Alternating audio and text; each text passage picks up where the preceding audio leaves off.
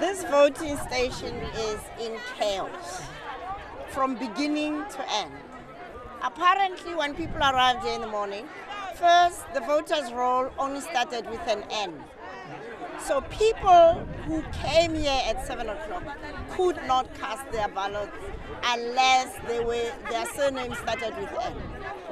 And that set off a chain reaction.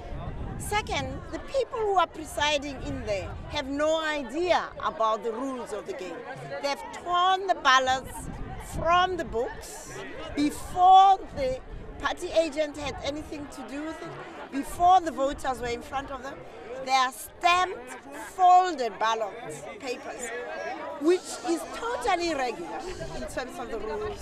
They are supposed to stamp the ballots and tear them off the books at the point where the voter, having had their um, name checked in the ro- on the roll, having had their thumb stamped, and then they and their their ID scan, and only then are they supposed to tear off the, the, the ballot paper and give it to the voter.